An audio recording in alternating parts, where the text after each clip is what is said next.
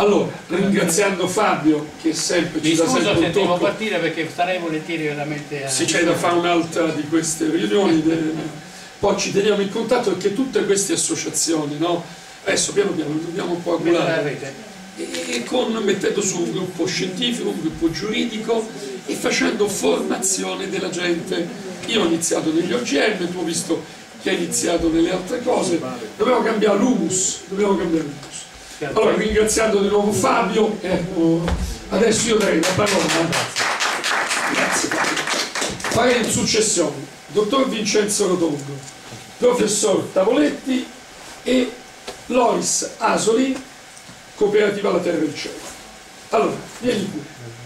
Così andiamo a capire le alternative. Tutti loro sono, diciamo, esperti di come produrre in agricoltura, in zootecnia, secondo le differenze, in una maniera accettabile, senza questi disastri. Sì, buonasera, mi dispiace che purtroppo non ci siano più le persone che c'erano prima, tutte quelle che c'erano, così magari potevamo dialogare un po'. Comunque insomma, io sarò abbastanza sintetico.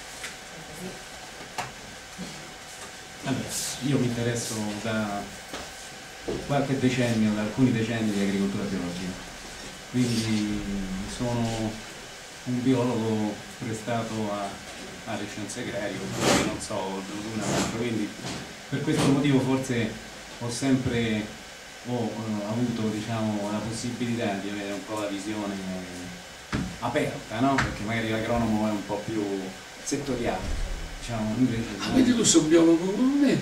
sì, Ah, bello, bello. Però- Io credo fosse un agronomo. no, so. però ho fatto... Eh beh, certo, poi Eh, de Mi sono facto specializzato in fitopatologia, quindi ho fatto un po' sia l'uno che hai lavorato sui due. Sì, sia l'uno che l'altro, quindi ho avuto esperienza sia da l'uno e ho fatto ricerca sia per l'uno che per l'altro, quindi un po' di anni per uno, un po' di anni per quindi, e per questo motivo diciamo ecco, ho potuto completare un po' mm, di quelle esperienze che volevo insomma completare.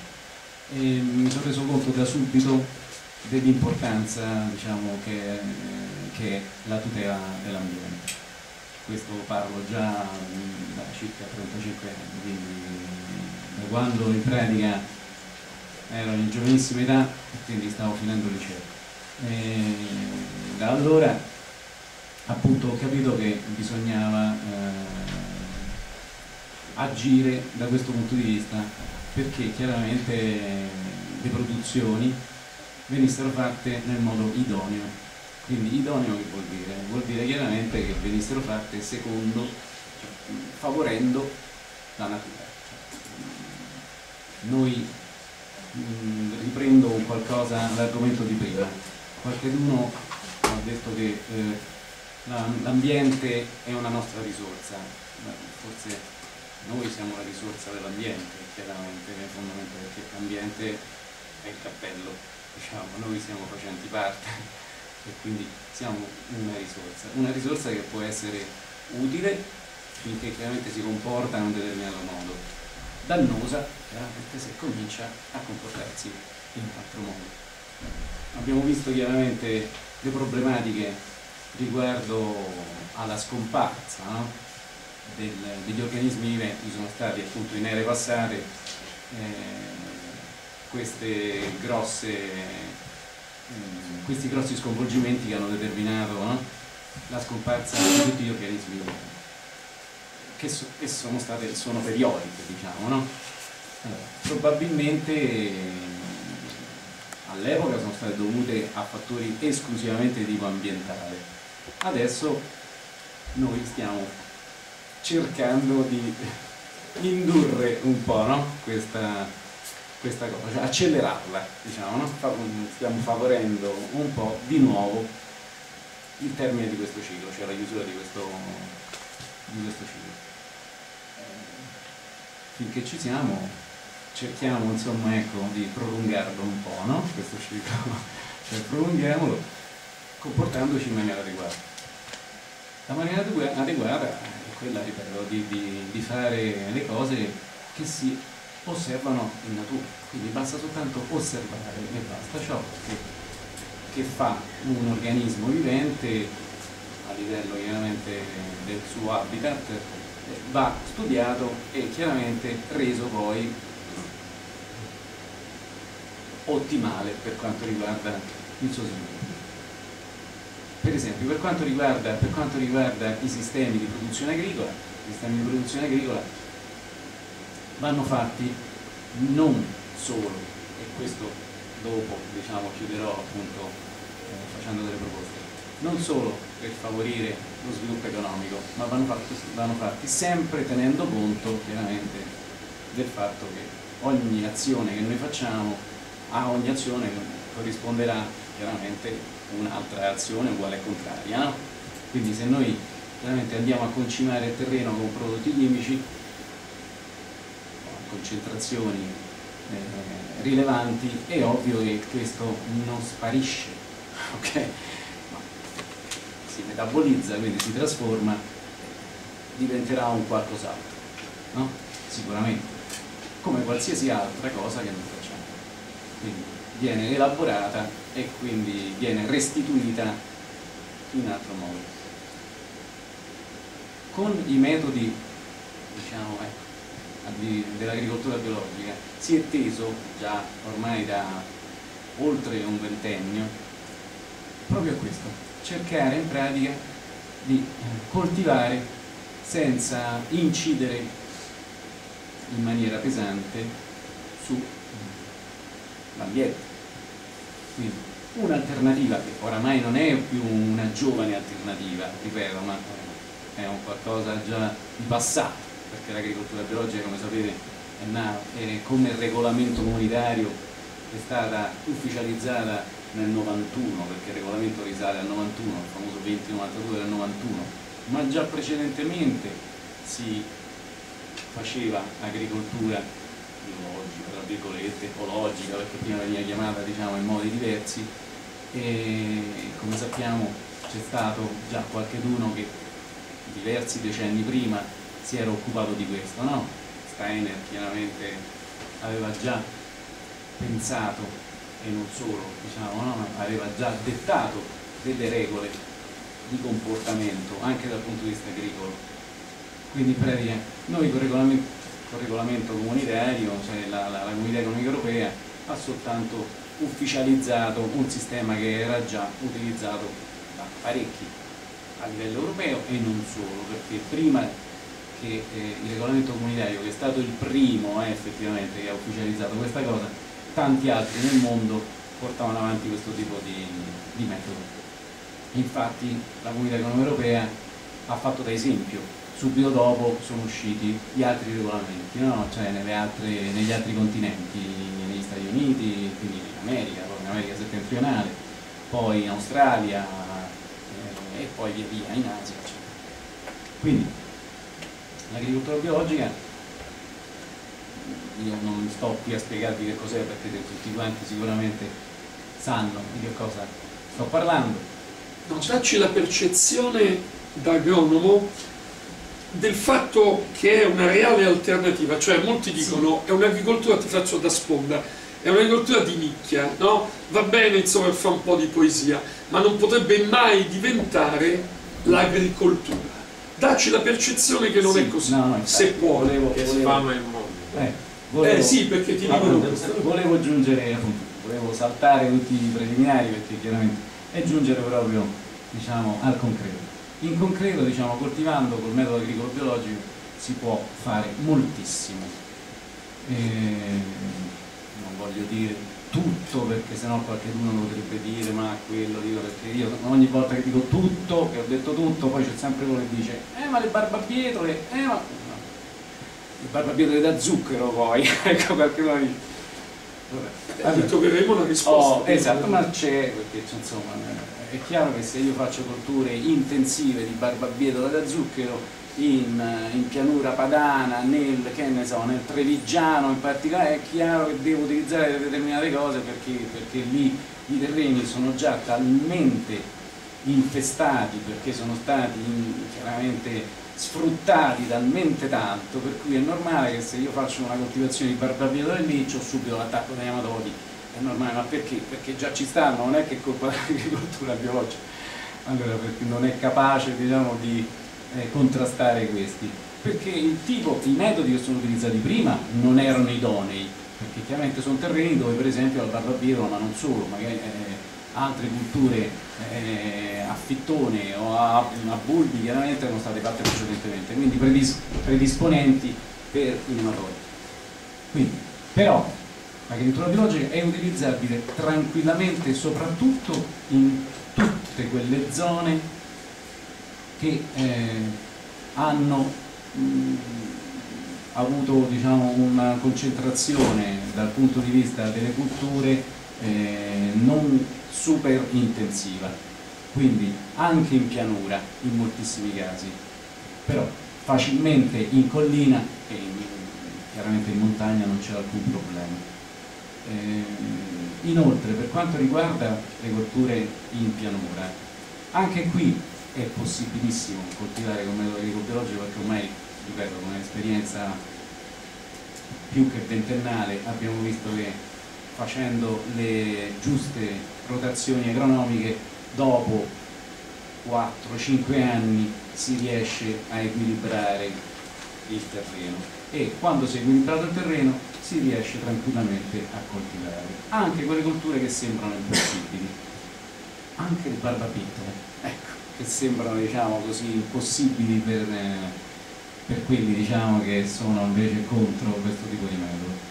Eh, è chiaro che ci vuole del tempo, è normale, ripeto, se io comincio a coltivare un terreno che è stato coltivato per 40 anni eh, o più col metodo convenzionale, è normale che io, non, non, si può pretendere che io applico il metodo agricolo biologico e subito c'è i risultati, perché ovviamente no, è come l'individuo che eh, si becca la polmonite perché chiaramente è, ha avuto dei problemi dal punto di vista so, dello stress oppure ci ha avuto altre problematiche eh, perché ha avuto altre patologie, è chiaro che dovrà fare una terapia antibiotica potente, è normale che ci avrà un periodo no?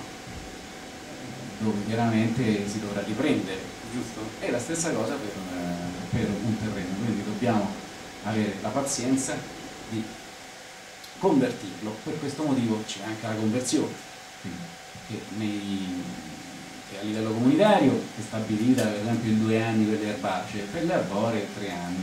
Questo, la conversione serve esclusivamente per eh, in pratica far ridurre i quantitativi degli eventuali fitofarmaci presenti, però non va a considerare questo che ho detto io, cioè il riequilibrio. Infatti la cosa più giusta, per esempio, è quello che prevede l'agricoltura biodinamica, che invece dà dei tempi più lunghi. Quindi questi però non sono legati alla riduzione dei fitofarmaci presenti, ma l'intenzione è quella di far riequilibrare il terreno dal punto di vista della rivitalizzazione del terreno stesso, quindi far di nuovo ripopolare il terreno con tutti i microorganismi necessari a metabolizzare le sostanze nutrienti presenti e ridare forza al terreno, per questo si dice rivitalizzare. Quindi sicuramente un tipo di agricoltura ottimale è l'agricoltura biodinamica, cioè quella chiaramente che giunge appunto alla rivitalizzazione e quindi è quella che dà la possibilità di ottenere un prodotto effettivamente valido da tutti i punti di vista L'agricoltura biologica però chiaramente è un passaggio, un passaggio sicuramente necessario, no? perché se io appunto devo passare da un terreno che è stato sfruttato molto, utilizzo prima l'agricoltura biologica, è normale, eh, perché mi rende più semplice anche abituarmi, no? Questo serve a noi soprattutto, no? a meno che non ci sia un, un agricoltore particolarmente sensibile o particolarmente paziente che chiaramente eh, sottostà a questo metodo che è piuttosto complesso diciamo inizialmente e lungo soprattutto comunque Per quanto riguarda, per quanto riguarda le possibilità di resa, cioè, abbiamo visto che con l'agricoltura biologica non ci sono grosse differenze. in tutti questi anni ho fatto sperimentazioni con diverse università, centri di ricerca, eccetera, abbiamo visto che coltivare in agricoltura biologica, col metodo biologico e coltivare in convenzionale, diciamo, la differenza al massimo arriva a un 10-15% dal punto di vista della produttività. Al massimo diciamo, se se il metodo è applicato in maniera corretta in terreno equilibrato quindi alla fine è accettabile anche perché, anche perché è inutile dire perché è stato già detto da tanti altri prima di me eh, il quantitativo è relativamente utile, giusto? considerando le grosse eccedenze che ci sono. Quindi l'obiezione che si può fare sempre, eh, ma i quantitativi, la fame nel mondo, tutte balle, perché chiaramente la stragrande maggioranza, sappiamo, delle produzioni cerealicole viene sprecata, no? Sprecata attraverso varie, i vari passaggi e le eccedenze.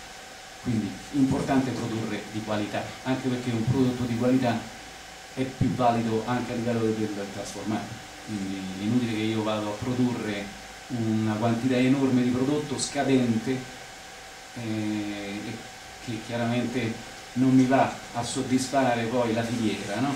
Questo vale per tutte le cose, compresa la zootecnia, chiaramente. Perché? Eh, L'altra obiezione che si fa spesso è quella che eh, ma in zootecnia abbiamo bisogno di enormi quantitativi, no? perché chiaramente quando dobbiamo andare a alimentare soprattutto i bovini, chiaramente questi consumano tanto e quindi noi dobbiamo avere la quantità di mangime necessario per alimentarli. Ma ci sono per esempio tantissime culture alternative non sono chiaramente eh, con concentrazioni a livello proteico così inferiori alla soia, per esempio. Ormai da anni ci si è concentrati esclusivamente su questo tipo di prodotto, no? che per forza dentro il mangime ci deve stare la soia, perché è il legume che ha la maggior quantità di proteina si può sostituire benissimo con tanti altri, anche con quantitativi inferiori di proteina, però possono essere integrati. Ma la qualità è sicuramente quella fine migliore. Abbiamo visto che eh, per esempio oggi abbiamo mangiato per esempio il, eh, la varietà di pisello, no? eh, che è sempre il Pisum sativum, però è l'Arvenza, insomma, no? che è una qualità una varietà selvatica, esistono tante altre, infatti mi interessava abbastanza perché ho in mente di farci una sperimentazione, ma ho già sperimentato tanti altri tipi di pisello proteico per esempio, no?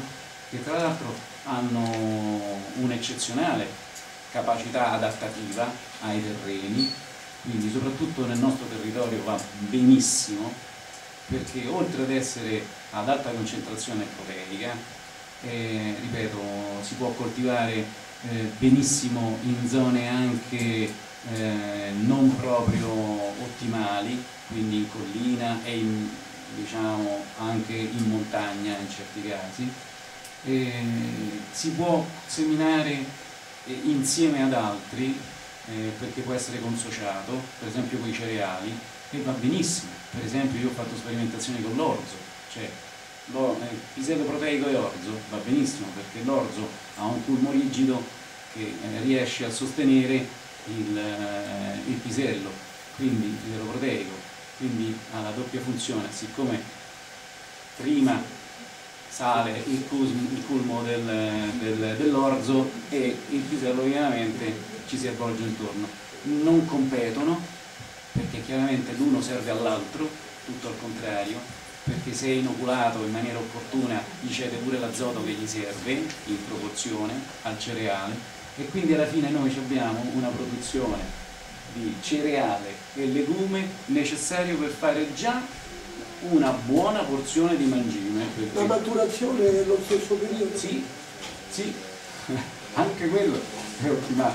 Quindi, anche quello. Che lui già ci pensa all'applicazione. Eh? Quindi, per esempio, Noi solo- nutri al pisello proteico da anni nell'azienda dell'università lo stiamo producendo per uso zootecnico. quindi, è solo un E esempio. va bene, no? Benissimo. Certo, Io almeno, soia 50, pisello proteico 24, così. sì, chiaro. quindi devi ricambiare le formule. Certo. Però, almeno dalle sperimentazioni che abbiamo visto noi, che abbiamo fatto noi, mh, abbiamo trovato Sono un po' di fattori antinutrizionali, però per i ruminanti vanno vanno benissimo, per i ruminanti vanno benissimo. Per il maiale dipende la Per i categoria. maiali ci sono altre cose, quindi oltre a quello possiamo utilizzare anche, per esempio, c'è sempre anche il farina che si può utilizzare, che per i maiali già va meglio. Per esempio c'è la medica, ma non la medica tal quale, c'è la medica disidratata, che va benissimo anche quella, perché, perché chiaramente abbiamo visto invece che questa agli avicoli è eccezionale, alle, alle ovaiole soprattutto, quando gli si fa il mangime con una porzione di medica disidratata, gli dà chiaramente la possibilità di deporre le uova anche diciamo di dimensioni, perché prima si lamentavano, no, le dimensioni sono più piccole, invece no, anche Non vorrei sbagliare, dimensioni. contiene degli estrogeni la, la medica. È un po' dell'ovaiola va bene perché No, no, in senso fibra. positivo, Sì, ecco sì, perché fa le uova. sì. Il problema è la fibra nel pollo. Eh, Il problema è la fibra, se la Sì, destra infatti stiamo, stiamo parlando delle L'ovaiola- ovaiole, infatti, stiamo l'ovaiola- parlando delle ovaiole, va benissimo.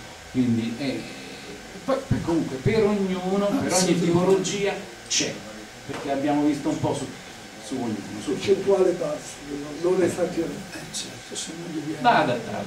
Quindi, e comunque sono tutte culture che in biologico vanno benissimo, si fanno tranquillamente senza alcun problema, perché la medica ovviamente non ci crea nessun problema, non ha bisogno di niente, quindi né fitofarmaci, Alfa. né fertilizzanti, ok?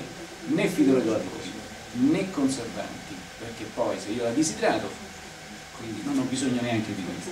Quindi alla fine ottenuto un prodotto altamente di alto valore nutrizionale senza aver impattato con l'ambiente. Quindi, e poi senza neanche chiaramente andare a creare scompensi di tipo economico, così non ci sta neanche questa critica qui, ma ormai sono decenni che lo facciamo, non è che dice sono, co- cioè, sono cose che vengono fatte da mesi, sono tanti anni che queste cose vengono fatte.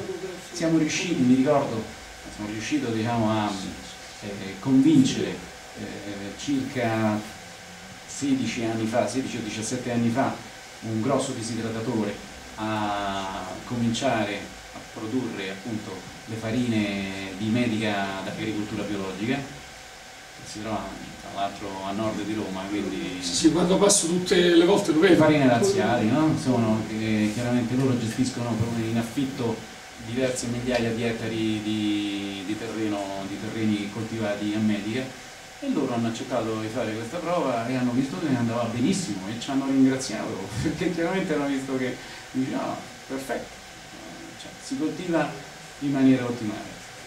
I- gli agricoltori hanno abbattuto i costi di gestione.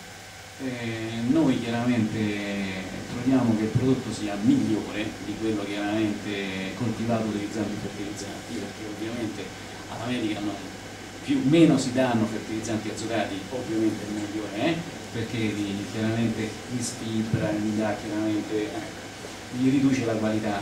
Quindi alla fine è molto meglio coltivarlo in biologico piuttosto che in convenzionale. Questo diciamo, sono tutti esempi, ma ve ne potrei fare adesso decine cioè, e decine. In ogni caso ah, siamo riusciti in quasi tutti i casi siamo riusciti a trovare delle soluzioni in tutti questi anni, anche nei frutteti.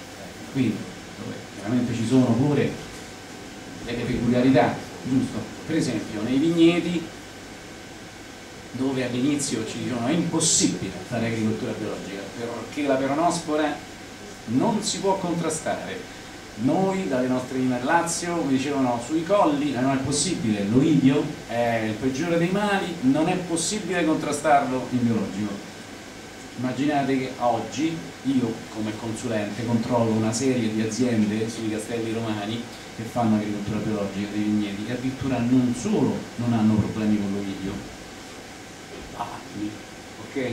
Ma si riesce a produrre anche un prodotto finale, cioè un vino di alta qualità, addirittura con metodo ancora più innovativo, con metodo naturale, cioè quindi senza, e questa è una cosa che sto facendo io in particolare, quindi senza utilizzo di additivi Perché? Perché sono partito in campagna, cioè si parte chiaramente con la coltivazione dell'uno. Se io coltivo la vigna in un determinato modo avrò un prodotto che non avrà bisogno di additivi. Perché? Perché lui stesso, come un qualsiasi organismo vivente, ha le sue possibilità di difesa e quindi che si fa? Io cerco soltanto di stimolare questo devo stimolare questo. È chiaro che se io coltivo la vigna, qui da questa parte sull'Adriatico cosa abbiamo? San Benedetto del Tronto? Che ne so, ecco, coltivo la vigna sulla spiaggia San Benedetto del Tronto, non credo che sia una cosa adeguata, giusto? No, ecco. È normale che io devo coltivare ogni specie nel, nel posto giusto. Quindi è questo che bisogna fare. Manca, prima c'era adesso non c'è più, perché non è che manca, perché grazie all'avvento della chimica questa ci ha, ha, voluto far dimenticare ciò che era normale. Cioè, cioè, gli agronomi, e questo purtroppo devo dire, devo fare eh, oggi, sono formati purtroppo esclusivamente sulla base di ciò che la chimica vuole. Eh, come i medici purtroppo ciò che l'industria farmaceutica vuole. Cioè. All'università ora spesso vediamo il professore insieme col ricercatore dell'industria farmaceutica che fanno lezioni, cosa nessuna. Come succede quando si va all'università? Ho avuto un'esperienza io a Bologna, quindi c'era chiaramente il professore e insieme veniva il responsabile dell'industria chimica, anche lui, a fare lezione con la scusa che si chiaramente promuoveva un qualche cosa di innovativo, però veniva a dirci che cosa bisognava fare per ottenere un prodotto migliore. Allora, la cosa fondamentale, quindi per andare a risolvere concretamente i problemi, è questa. Prima di tutto, la formazione. Quindi andare a incidere di nuovo in maniera precisa nell'ambito universitario cioè chi forma deve formare al di fuori di qualsiasi in, diciamo, eh, interesse di tipo economico. Questo sempre. Poi sarà il formato che decide quello che deve fare, ma io ho l'obbligo di formarlo secondo i giusti dettami scientifici, senza ingerenza, assolutamente perché altrimenti se io formo un individuo con le ingerenze, questo qui chiaramente che cosa farà? Eh, così mi hanno detto, io devo, devo, usare quello perché mi hanno detto che quello va bene, però non conosco l'altro. E questo purtroppo è colpa nostra, di, di chi purtroppo forma, anche purtroppo. Quindi dobbiamo cominciare prima di tutto a fare noi un po' di mea culpa, cercare di eh, ritornare di nuovo alla formazione etica, anche qui, cioè, nel senso che noi dobbiamo trasferire le conoscenze effettive, cioè, e dobbiamo dire, allora, questa è la possibilità, se fai in questo modo ottieni questo risultato, se fai in quest'altro modo puoi ottenere quest'altro risultato. Poi ci, sono, poi ci sono una serie di possibilità ulteriori che puoi avere. Ma non si può fare come all'epoca fece il mio professore di economia agraria, cioè a Bologna, che eh, mi disse quando io chiaramente andai no, a studiare, dico ma scusi, eh, ma lei qui ci sta eh, dicendo che noi dobbiamo fare i tecnici legati esclusivamente alla risposta economica, giusto? Ma io devo fare filopodologo, non devo fare mica l'economista dico scusi io vado in un'azienda agricola e vado, l'agricoltore che mi chiama Mi chiama perché? Perché ha bisogno di consigli relativi al, al metodo di produzione, al meglio che può fare per quanto riguarda eh, diciamo, l'applicazione non solo delle, delle metodologie ma anche delle culture che può fare. Quindi io sono responsabile di questo, io devo dire quello che deve fare meglio. Poi chiaramente quello che lui eh, farà dal punto di vista economico è di interesse suo, cioè io non mi devo interessare poi della parte strettamente economica, a meno che lui non me la chieda, vabbè, ma io gliela posso dare come consiglio. Però lui sosteneva che invece il nostro compito era quello di far produrre produzioni economicamente valide. E questo termine a me non mi piaceva, economicamente valide, che io a quel punto dissi, ma che vuol dire economicamente valide? Dici, ma come? Voi dovete fare in modo che le produzioni agricole che giungono nei mercati nei supermercati abbiano un'estetica, ecco questo, un'estetica giusta per essere apprezzati dal punto di vista commerciale. E allora dico, noi, nostro, la nostra figura di tecnici dove sta? dico, non esiste, cioè per far ottenere un prodotto che è commercialmente valido, io vuol dire che ho la licenza di utilizzare qualsiasi cosa, no? Giusto? Lui dice, ma a voi non vi interessa, voi dovete fare questo perché questo è il nostro compito. E io questo non l'ho accettato e non lo, ancora, e non lo accetterò mai, ancora oggi. Quindi io anche, i miei allievi continuo a dire questo. non esiste. Dico, voi vi dovete comportare fondamentalmente come persone etiche poiché la cosa fondamentale non è il risultato economico dell'individuo, ma voi dovete badare all'economia dell'ambiente, perché quella è più importante, fondamentale. Cioè, dopo veniamo noi, molto dopo, anche perché se noi non manteniamo l'economia ambientale e quindi la biodiversità, perché quello chiaramente lo paghiamo, lo paghiamo tutti, anche da questo punto di vista. Ok?